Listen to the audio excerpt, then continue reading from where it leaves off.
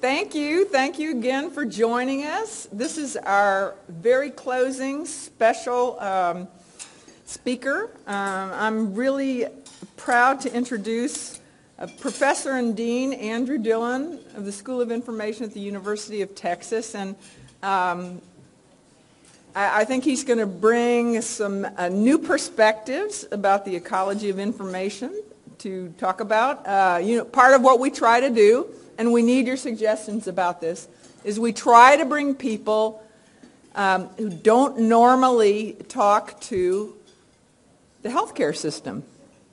We need new perspectives. We need people from Europe, and thank you to our the the Germans. And uh, as you know, it was wonderful to have Professor Masao Horibe here as well. Um, so we want, we want people from everywhere, from different countries, from different perspectives. And so Andrew is, uh, I'm just going to, I already made enough jokes about him being Irish and, and, uh, and a computer scientist and a psychologist, which I love because I'm a psychiatrist and an analyst. So, um, so uh, please welcome Dean Andrew Dillon.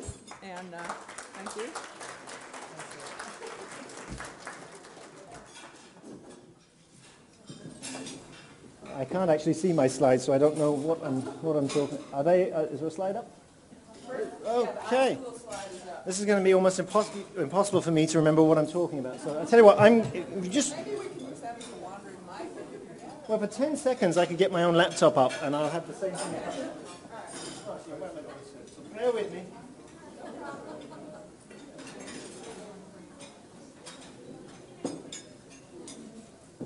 Interesting ergonomic issue. I hadn't thought of uh, my own visual sightline for the, um, for the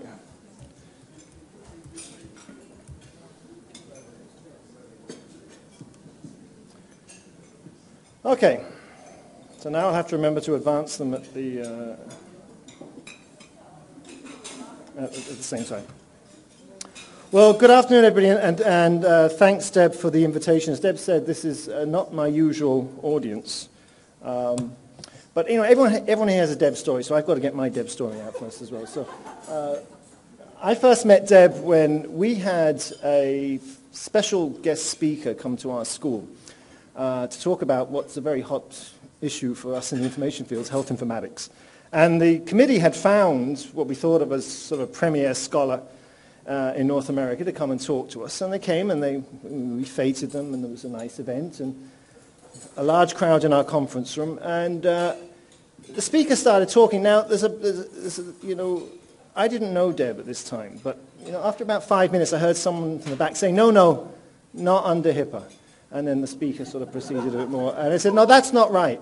And, I thought, and I'm so, now, there's a protocol in academia, which is when people give a speech, you sort of wait to the end to ask questions. Uh, now, sometimes the speaker will say, uh, will they'll invite questions, as I do actually while I'm talking, so you feel free to interject with me. But it wasn't, this didn't quite cover it, because Deb wasn't offering questions, she was offering contradictions. And, uh, and I, I remember looking around thinking, who is that woman? And um, so afterwards I met her, and, I, and uh, I learned a little bit about the story, and I, I said to my committee later, I said, you know, it's odd that this strange woman in the audience seemed to know much more about this stuff than anybody else in the room. We should have really have got her to give the talk. And uh, I feel that way ever since about Deb. She's totally turned my head around on privacy, which I'd sort of known about and I've been concerned about because I do a lot of work in designing information systems and we, we are concerned with security. Uh, but what I've really become concerned about is the experience of privacy and the sense that uh, the real world behaviors of humans are so poorly catered for uh, with any provisions we put in to help them with privacy, I just figured we've got to do something about that. So part of what I'm doing in the school, and I'll talk a little bit about today, is starting a new program uh, to try and change that. But anyway, I come from a school of information, which is sort of, um, it changed, great. Um, you won't be able to read that, and it doesn't matter. Uh, let me just say, I'll, we've got 22 faculty. We're the smallest graduate program, uh, smallest school, actually, independent school at the University of Texas, where everything is usually very large. We're actually quite small and proud of it. The interesting keynote there is that we've got 22 faculty with 12 different disciplinary backgrounds. So I'm a psychologist, but I've got industrial engineers, computer scientists, anthropologists, historians, philosophers, library scientists, English scholars, Uh, I've got everybody except a lawyer, actually. We, we, did, we, do, we do have some quality control. And, um, so, uh, uh, and the idea is that we're trying to create this graduate program where we bring in people from very, very different backgrounds who are obsessed with what's happening in the world and what's happening in the world of information technology in particular and how it can advance the human condition. I, I, aspire to nothing less than that, and that's what we're trying to do. And the students we bring in uh, end up getting careers. They come often from liberal arts backgrounds, but they're interested in getting a job. So they come to us, and uh, so, so, uh, and so we, we, can almost guarantee them work because uh, the, the skill set they get with us, which involves being able to organize information, being able to design interfaces to information, and to be able to understand how information technology can be implemented in an organization so it actually works, uh, these are very, very high commodity skills, and the job titles they get really don't make sense because they change so rapidly. And every year I survey the job title that our graduates, and they all, they all get jobs. Okay, and I'd survey the title. And it's just one big long tail distribution. You know, there are singletons everywhere, people called you know, a company ontologist, an information architect, a user experience specialist, a competitive intelligence analyst. I mean, they each sort of go in and they're almost invited to label their job description the way they want according to the company and the context they're in. And I think this is sort of fantastic in one way, but it's worrying for some people who aren't quite sure what does it actually mean about your school and what do you do. Um, and, you know, and I sort of get that. I worry about it too. Um, but let me say, well, here are our core principles. So uh, this is a graduate program, and this is what we stand by. We think humans are at the center of the information lifecycle not the technology, not the data. In fact, I draw a distinction between data and information, and I wanted to make that distinction quite explicit here. It's an old one in the field. We, most people worry about data, and they use the terms interchangeably, but data only becomes information when a human can make sense of it. When there's meaning imbued and extracted from the data, then it becomes information, then it informs. And it's not information before that, it's just data. And this obsession with big data, we need to get over it. Just get over it, okay? It's there, it's come, it's here, it's not going away. Let's worry about how we can extract value out of it. But this value has to be mediated. So we believe that all IT must serve the needs of humans. Okay? And this is, you might think, well, that's obvious, isn't it? Well, not if you've used most information technology. You realize it's not designed at all well to serve the needs of humans. We also believe that access to information, and we mean free access to information, is a bedrock of a civic democratic society. And this must be protected. This absolutely must be protected at all costs because there are interests there that don't want that to be the case. We've always had it. This country was the origin of the public library system. People don't quite realize that. That system is in very real danger, but it's one of the few places, the few places in this country where people who have otherwise no ability to get on the internet can walk in and get that access. They can go in and get information about their voting rights. They have free space that they can use to organize and have events for themselves. That's an incredible concept. Yet most people have no idea that it's there, and they certainly have no idea that slowly but surely that infrastructure is being eradicated in this country due to lack of funding and sort of budgets that make it impossible to maintain that kind of service. There's nothing easily out there to replace it, and I think we need to cherish those values and remember them, keep them, guard them, and move them forward into this new age. Also, I'll just run through this quickly. Information systems should augment human and organizational capabilities. I mean that, you know, in, in the niche that we're talking about now in the world is technology, um, and I could spend an hour just talking about this alone, but there's been several ages of, of technology, information technology. And somewhere around the mid-80s, the processing of numbers dropped and the processing of words increased. And that was actually a very, very interesting change in sort of computational resource use. Now we're moving on again to mixed media, audio, video. The old notions of computing, and particularly computer science, as I sort of annoy most of my colleagues in computer science, there wasn't a computer science department in this country until 1962, and Purdue formed it. And I said, by 2062, I don't think there'll be many computer science programs left. And they go, that's impossible. Every university has a computer science program. So every university has many, many programs which are dynamic. And the epistemology shift. You put a building around a subject, that doesn't actually protect the subject. uh, and uh, computer science might be sort of a linchpin uh, discipline of our time, but in fact, what we see increasingly is that computer science is falling behind the real pressing design and use needs that most of us are worried about uh, just from our own lives, and particularly what we see as the lives of our children coming behind us in the world that they're going to occupy. We have computer science students who come to us because this is the stuff they want to study. You're always going to need the technologists, But what we think you need is a whole new discipline of information professionals who are actually concerned with human values and implementing those human values in ways that work in real systems. So they have to actually have some technical skill, otherwise they're just going to be a voice in the wilderness. But it's not the most important thing for them to have. And we believe that kind of education is, is sort of vital here. But just in parallel with that idea of shifting from text to word, we've also moved from just calculation. You know, computation has moved from being a calculation-based activity to one that we believe is about augmentation. So now that you enable tasks to be performed that couldn't have been done before, it's not just about the number crunching. I mean, we've known that for a long time too, but we're only slowly seeing that play out in, the real world. And here, particularly for this audience, I want to emphasize that we, we, our idea of a notion of a high-quality information infrastructure raises very deep ethical questions about who owns what, who has the rights to what. Privacy, of course, is what this audience is particularly concerned with. Access alone is a huge one for me because we really are creating a world with multiple tiers. And it's very easy for us, particularly in North America, to forget that the majority of the world have yet to get access to the internet. We don't think that. We think the internet's everywhere. And you know, if you're a member of somebody, if you're, you know, you're traveling and you, are online, you're everywhere. That's true. But for the majority of people on this planet, that's a fictional existence that's way beyond them. They don't have the society, they don't have the infrastructure, they don't have the resources, they don't have the money. It's just not there. But they're coming. And they are going to come big time, very, very quickly like a tidal wave. And when that community of users ends up on the web, our version of it, which is a highly English language specific notion of what content on the web should be like, is going to be seriously challenged.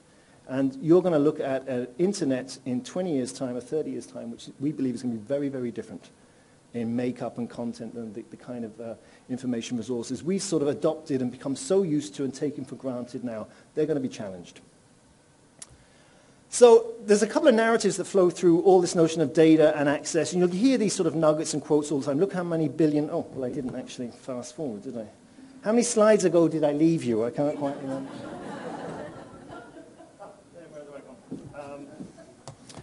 You know, how many billions of exabytes, gigabytes? You can't even measure this stuff. You know, people will quote you numbers for how much new data is out there. And it's sort of a nonsense. It's, it's, you know, it's a great dirty secret that we don't actually know, but we sort of make estimates. But it doesn't sort of matter because it's not the precise amount, it's the scale that matters. So if you take a number like 200 billion, that is equal to 12 stacks of paper that would reach from here to the sun and back. Okay? That's coming out every year. Okay? Now, of course, we're not printing it all out, although unfortunately one of the most successful information technologies of our time is the printer and the photocopier. It's only in the last couple of years we've actually seen a down, downward curve in the consumption of wood for conversion to paper. We've been eating the planet alive for the decades preceding that. It's just about tailed off, but it's still extraordinarily high. That's also, you know, three million times the amount of words in all the books ever written in the history of our fine species. You know, that's what's happening in a year. I mean, this is incredible. And even if that's not quite right, it's near enough right that it should sort of surprise you. And then you'll get the new gods, uh, you know, people like Eric Schmidt of Google who will say, you know, from the dawn of civilization until, say, pick a year, we produced about five exabytes of data. Now we can do that in two days. So when you think about things, and I'm not totally sympathetic to the numbers, but you need to understand we are living in real time through a shift in our culture and our world that is unprecedented since Gutenberg. And I have to say that again and again to people because we've become lazy about that. We take it for granted. We sort of live it and think, yeah, yeah, they're big numbers. These are not just big numbers. These are phenomenal shifts in human behavior. And sometimes people get it wrong. Steve Jobs, most famously for me, believed that nobody reads anymore. Uh, this is clearly not the case. Okay? It's clearly not. In fact, if you look at the average uh, American adult and their consumption of text alone, we seem to be reading more now than we ever were. Now, we might be reading less high quality output, perhaps, with, uh, but the number of words, if you just measure it in those terms, we are reading like, uh, like nothing else. I look at my own kid. His homework is on, so he's in a public school system in Texas. And his homework is all media-based. They don't, you know, the, the math teacher has them watch videos at night and then come with questions into class. He doesn't actually sit there and, or stand there and teach. That's, that's not what teachers do anymore, apparently. Uh, you know, but all their homework is online. They write and submit online. That world has just happened. And the idea of sitting down and, and reading a book, I mean, a book, uh, is sort of odd. So odd, in fact, that two weeks ago I gave an interview to a, a, a Chinese radio station because they contacted me because there's some interest in China and a government mandate to enforce uh, compulsory readings of novels uh, uh, at school because they are worried that their whole society is just shifting away from traditional literacy to, to new forms. And they think this might actually be a problem. Um, I thought that was kind of an interesting observation. I'm going to situate this a little more clearly by giving you um, a 25,000 year history of information in three slides. Okay? I can do this. You can grasp this. Okay? It's possible. So I've talked about all the new stuff. It's not all about the new. There's something underlining us as a species that is sort of key to understanding how we deal with the issues that we're facing at the moment. So I would argue that you could go back to 15,000 BC, and those cave paintings were not artwork, okay? It wasn't somebody's idea of how to window dress the cave. This really was, uh, this was actually a signal to people in the tribe that if you're in this region during certain times, this is where you will find food. This is where you can hunt. This is where the animals were. This is a signal, a record left by one group of humans for another. It was a very, very early form of information dissemination. 3,500 years back, we can trace early writing. Largely a form of counting, the idea of notches and creation of sort of numbering systems which could be recorded to dictate ownership, and particularly size of counts of army, cattle, possessions, property. 2500 BC, the first library, okay, in Iraq. That's kind of interesting, wouldn't you say? Uh, 2000 BC, the first catalogue. Now, I tell you that because it didn't take long in human terms for us to move from actually having libraries to then realizing we need a form of representation to tell us what we've actually got. Those catalogues were the first example of metadata. Okay, a current term, we use it all the time. It's, it's got thousands of years of history us as a species. This is how we evolve. This is how we record. This is how we share. We've been doing it. We've always been doing it. I said I'd do it in three slides with the implication that it would be fast. I'll speed up. I won't go through all of those. You can sort of see them. Along comes writing, early, early alphabet forms. First bound books, 100 years BC. Bound books, okay? a library to unite, Library of Alexandria, woodblock printing, preceding Gutenberg by at least 700 years, similar ideas the Chinese had on wood. Okay. Oh. Can I just give that to somebody, um, uh, Deb, and just say, when, when, when, I, when I go forward, just, just flick forward. So you should now be at 700 AD. Does that make sense? Yeah, speed and time up, Deb. Come on. 700, okay. Uh, what, I'm, what I would want me the point of there is that everybody ties the Gutenberg revolution very much to a particular location and time, but in fact that knowledge itself had, had, had precedence. Every technology we have has a precedent, okay? And often we don't recognize it. So the technologies that will be here in 30 years' time have already taken their roots in some ideas now, okay?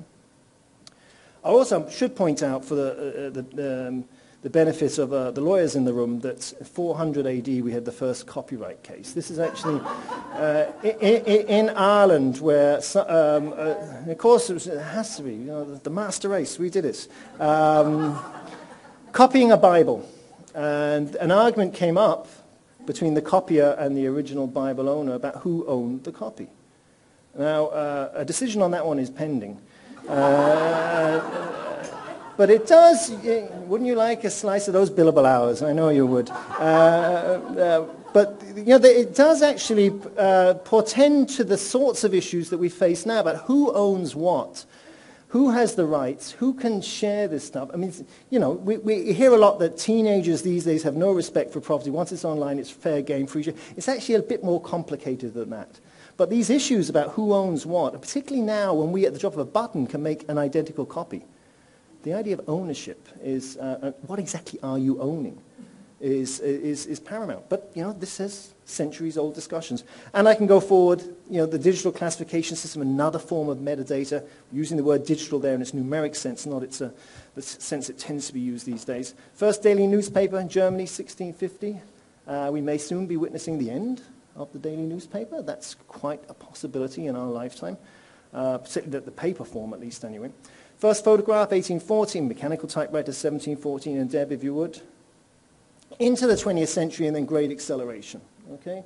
First TV broadcast. The ballpoint pen actually was a remarkable invention, 1938. An ability to write with something portable, small, you carry with you, works every time reliably. Um, you know, not, no more ink bottles to be sort of exploiting. Photocopiers. Oh, you know, we had cell phones in 1947.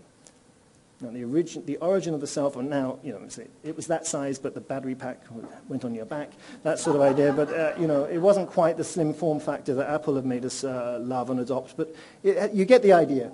We've had a browser, you know, browser wars going back 20 years now. In 1993, I remember the first time I used Mosaic. I mean, some of you will. The generation, my son's generation, it, he calls these the bad old days. He said, Dad, what was it like in the old days before the web? I said, you know, it was a bit like it is now, son. But, um, um, he doesn't, like, he doesn't like that. He doesn't like that. That's impossible for him to get his head around. Okay? Uh, you know, and, and then you can pick up all these other things. I just got some examples. Facebook is now over 10 years old. You get this uh, push for the iPhone 2007. I thought that was sort of a killer app. You know, Google coming along with its print library for people in my world. That was sort of an important and interesting and thorny set of issues associated with that iPad 2010. I have a sort of a little running gag with my faculty. I say, what's been the killer technology of the last five years? And I didn't put one in because we don't think there has been one. You know, the shift to the cloud has been enormously important, but there isn't one technology that stands out that way. We've just refined these variants. Now, that could just be, it's just a five-year window in 25,000 years. What are you worried about? Uh, or it could signal something else, which is that this kind of history is often a history of the technology not the history of the behaviors that were changed and the social structures that were formed and enabled as a result of this. We may now be at a point where we are so immersed in this stuff that the killer technology, the thing that, that people dream of creating and getting rich on, is no longer really viable. That are, we're at a maturing stage of looking at an information infrastructure emerging around us and that it won't be tied to a single tool or technology. Perhaps, I don't know. Uh, Deb, if you would, the next one, please. What's coming? Who knows what's coming? You know, people tell you what's coming really haven't a clue. Okay? So let me tell you what's coming. we think in about five years' time, oh, I don't. Cisco thinks this. And if Cisco thinks it, I tend to think there's probably some grain of truth in some of it anyway, at least. 50 billion intelligent devices connected to the internet as sensors. That's more than people. That's growing at a rate faster than people. Think about that. What's that world going to look like? It's not going to look like the world of today. Certainly not look the world of 10 years ago. There's no turning this back, okay? So we can argue it. We can't, you know, rally the troops and say, we want to go back to the good old pre-days. It's not going to work like that. There'll be hiccups along the way. But I don't actually know what this means, but I do think it's profoundly important. Something's going to happen. Our world is going to look different, and it's going to get designed for us. You know, architect, my, my, my colleagues in architecture tell me that the 21st century is the century when the majority of human beings on this planet will live in an urban space. Okay? When I first heard that, I thought, oh, that's kind of profound. But then I actually, I actually don't think it's that profound anymore, really.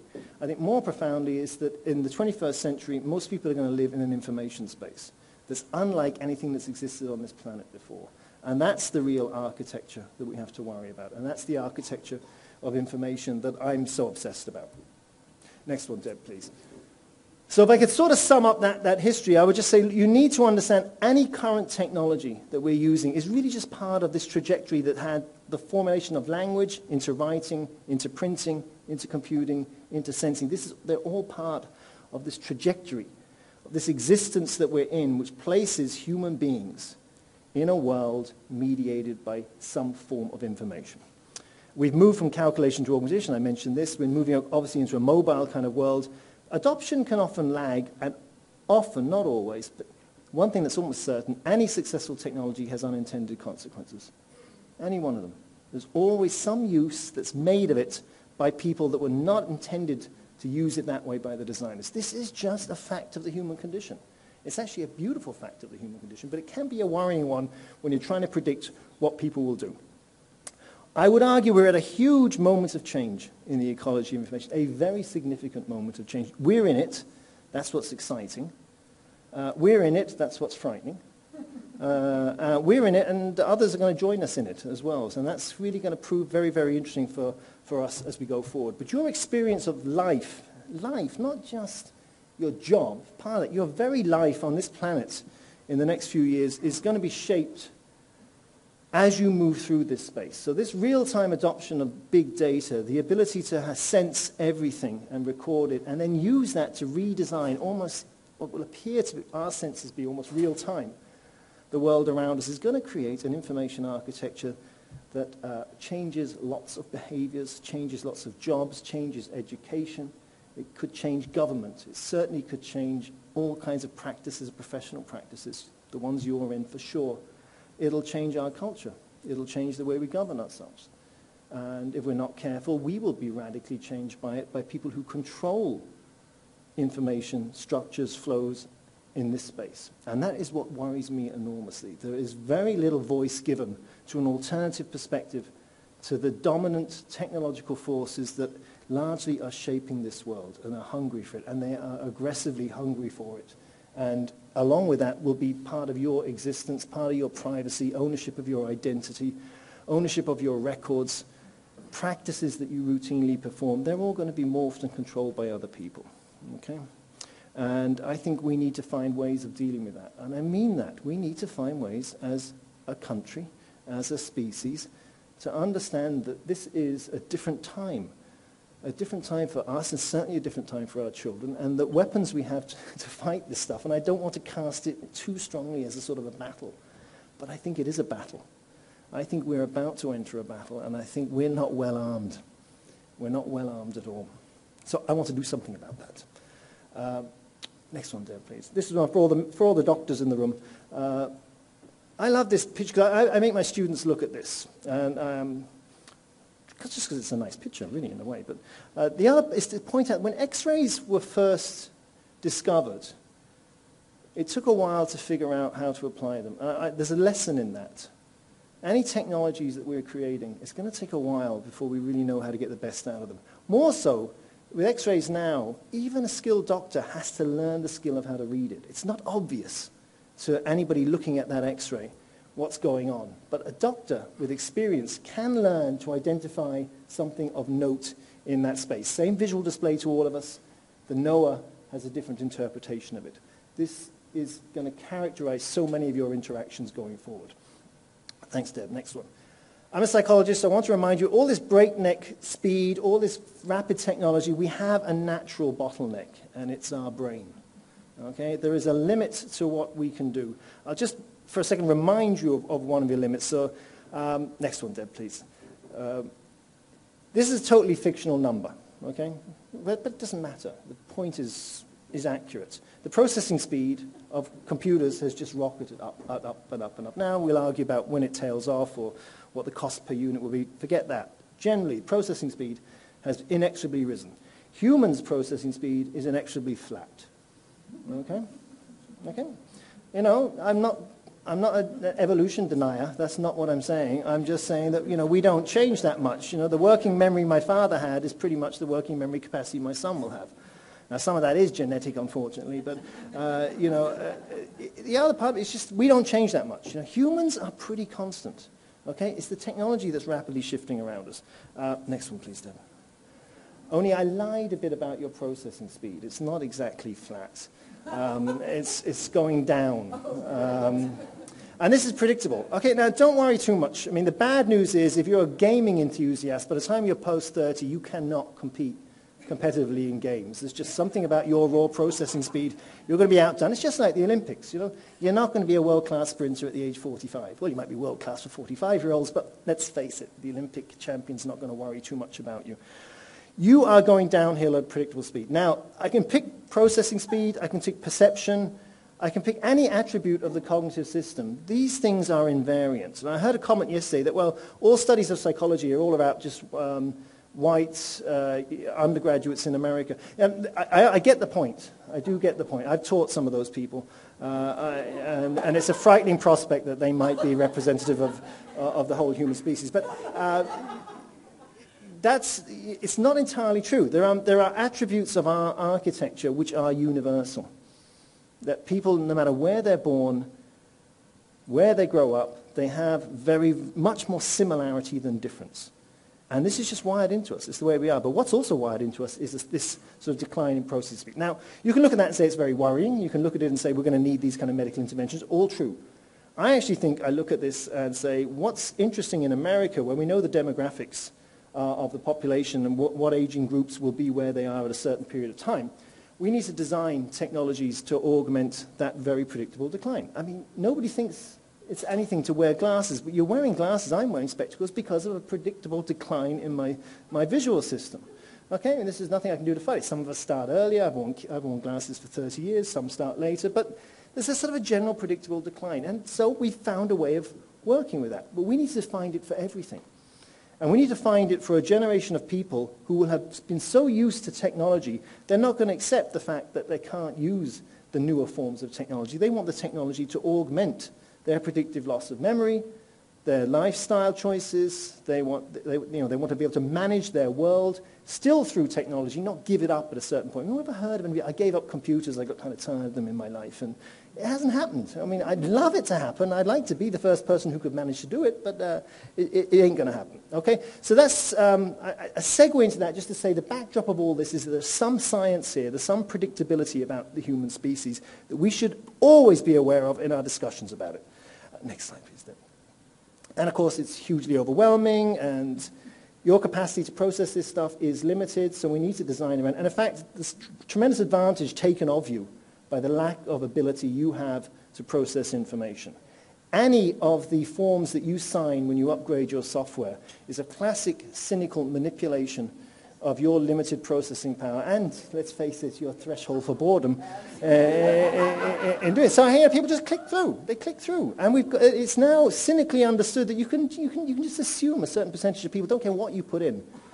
You know, and by the way, every week I'm going to upgrade this and charge you $5. You know, yeah, yeah, oh, I sign that. Sign it. Sign it away. We just sign this stuff away because of, we're being exploited in this very, very predictable sense. Uh, next slide, Deb, please. Now, in the privacy one, which I do want to bring this to, and I promised I would actually talk about privacy at some point, um, uh, um, is that, you know, we, we're all very familiar with the, the Pew studies, and the Pew studies actually are fantastic in a way. I mean, I, it saves me having to do any surveys of my own. Uh, I just see there's a new one out, oh, and I look at that. And if you look at these sorts of data points, they're probably too tiny for you to sort of realize. You'll get the sense that humans are quite complicated in their attitudes towards privacy.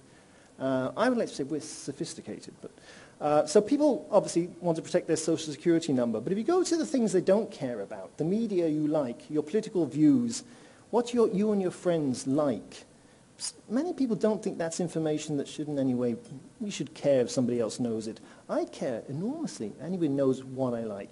I don't want people to know what I've searched. And it's not from any nefarious activities I get up to online, but they're my searches. I get annoyed with targeted ads that clearly come in because they're based on some model that says, well, if I clicked on this, I might do that. Or the more worrying ones, if I've looked for a certain kind of illness, uh, information about an illness, information about a, a, a treatment, that triggers all sorts of other changes in my information experience. And then you have to worry, where else does that go?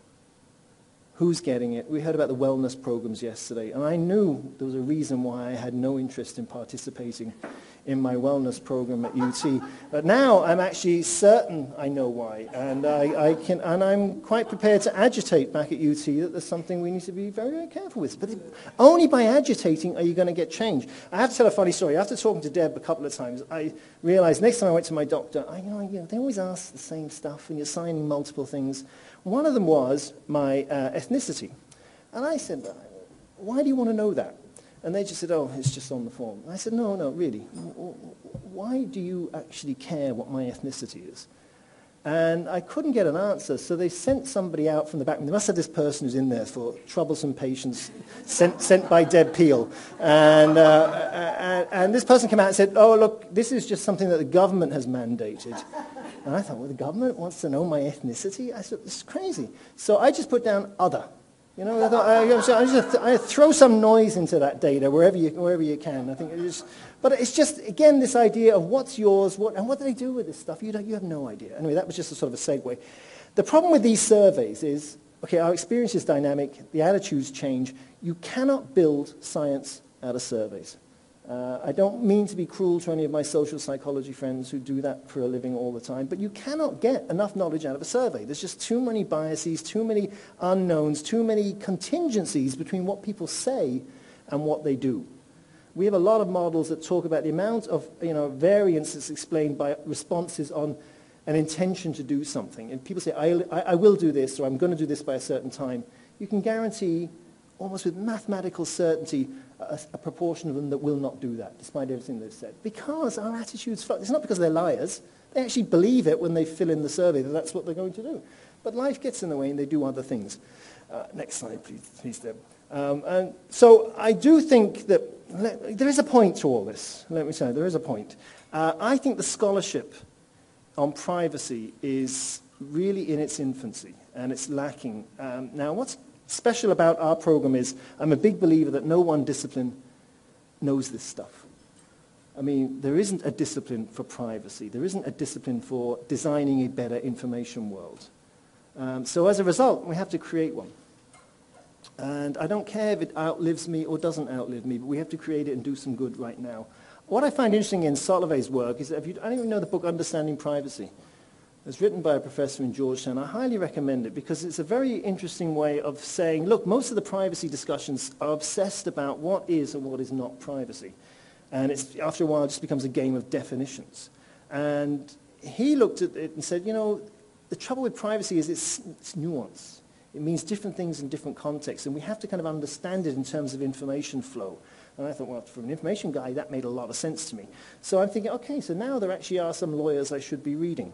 And so this is one of them. But I think this work is out there, and I think it's sort of interesting. I think it's taking it outside law, it's bringing in psychology, it's bringing in philosophy in ways that are helping create a different kind of understanding of privacy. And that's what I want to do with our school. Now, I'll end with a sort of a positive note, and I might have to ask you to scoot several slides forward, actually. Um, what are we doing about it? Is that the one there? What are we doing about it? Yeah, okay.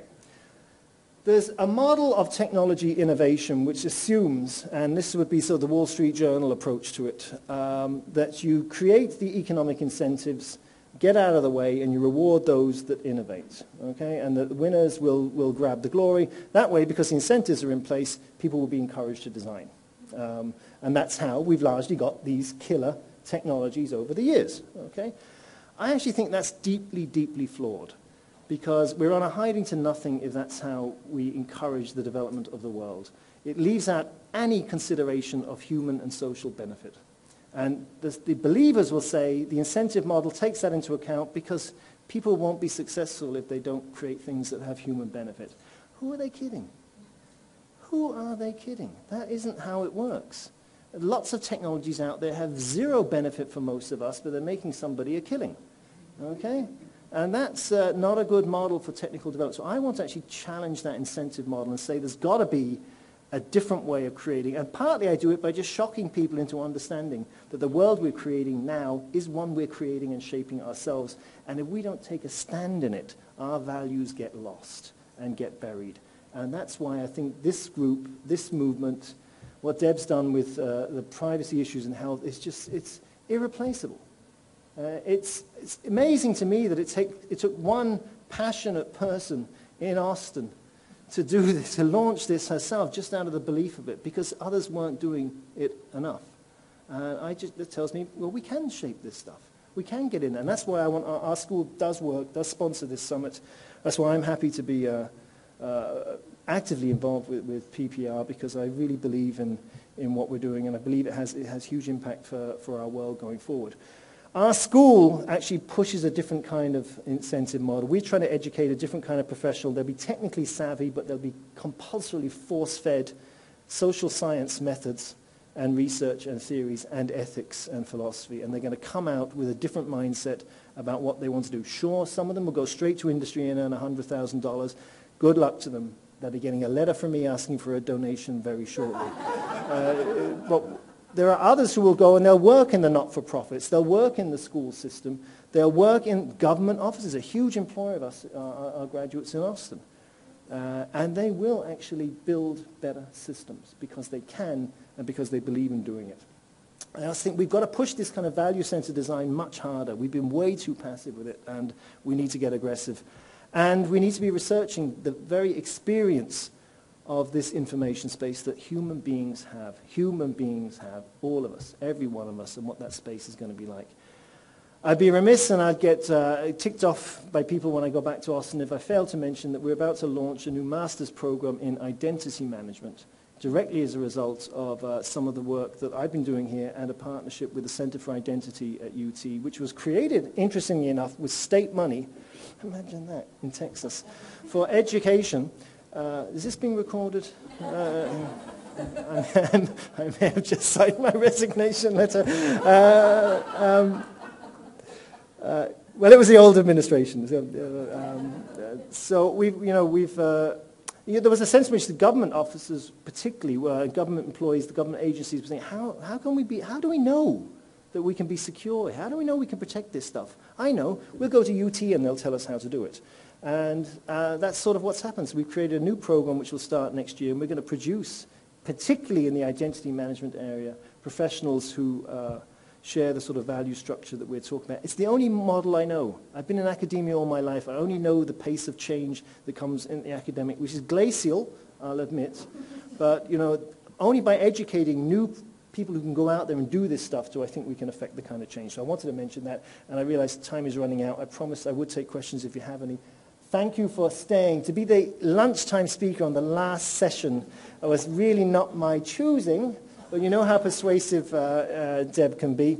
Uh, but actually, I'm delighted to be here. I've really, really enjoyed the summit, as I always do. I, I never really get to a collection of uh, papers and sessions and discussions quite like this one. It's a very, very different energy here and a very, very different sort of collection of people. And I'm proud of what you're all doing, and I stand ready to deliver professionals who take the dream of this group forward uh, into, the, into the future. And that's what we need to do. All of us need to do. So stand up for your rights in the information space and agitate. Thank you.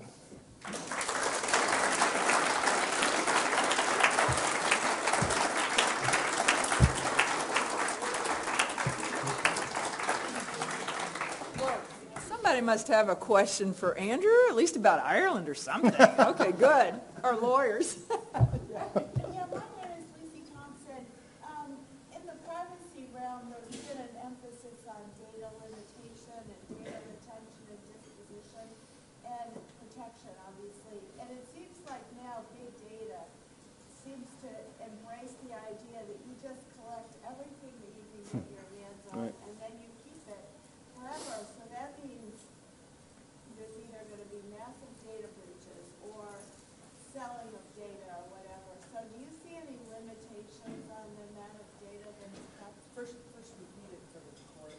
Okay, so the, the, the, question largely is that with the sort of, uh, the way retention seems to work for most uh, organizations, I guess, companies that collect data, is that they're just collecting everything and they don't really have a, a thought out uh, sense of what's the life cycle endpoint here and how, how do we, I'm probably putting words in your mouth here, Lucy, but so correct me if I get that wrong.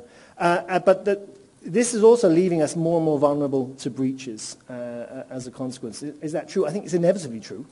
Uh, but I do think there actually are some movements in the retention uh, community. So particularly Iron Mountain, for example, big, big company. We do a lot of work with Iron Mountain.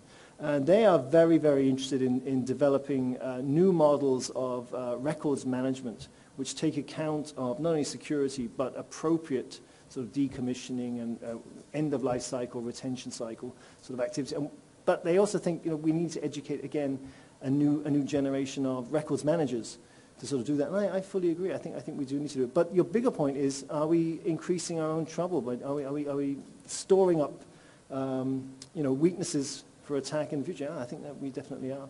I definitely are. And curiously enough, I don't think 10 years ago people would even have thought that was going to be a problem. now, but we're going to see new problems like this all the time. Adrian. Andy Orm, you didn't mention in your talk how the um, information technologies are invading our bodies.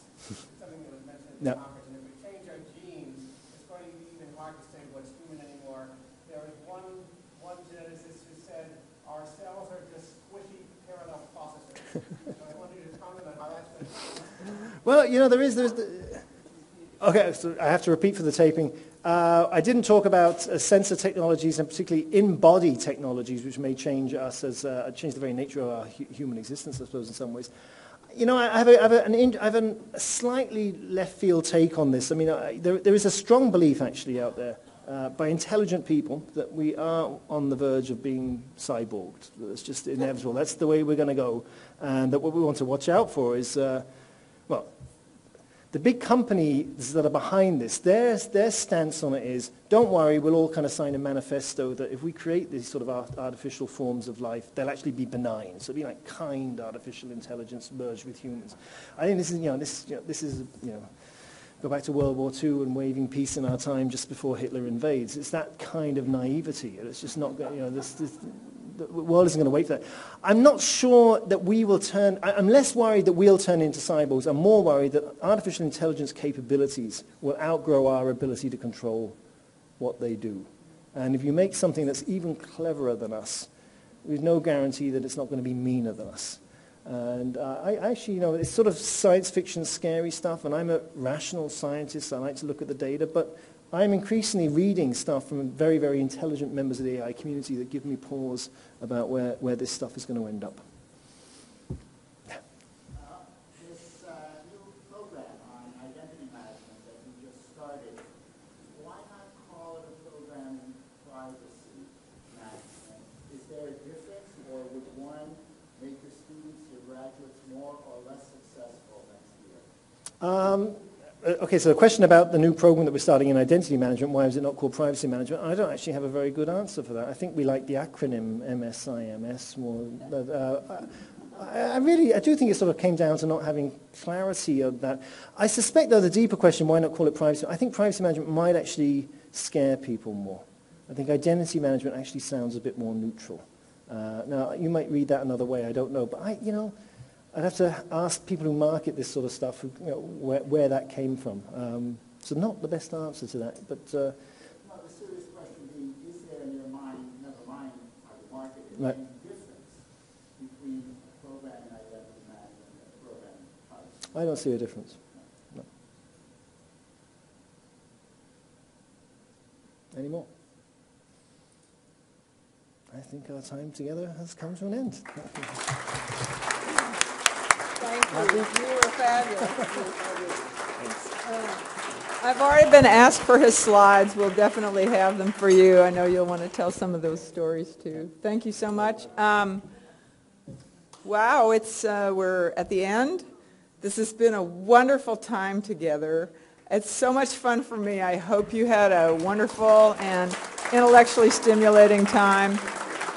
And um, I wish we could tell you what the dates are for next year, but you, you have to keep in mind it'll be Ju- the first or the second week of June because Georgetown doesn't assign dates until the fall, and we will keep begging them to give us sooner answers, but you'll know as soon as we know. So just this, we're trying to keep this time frame, which seems to be really good for academics and for most people. So thank you again. Fill out your evaluations.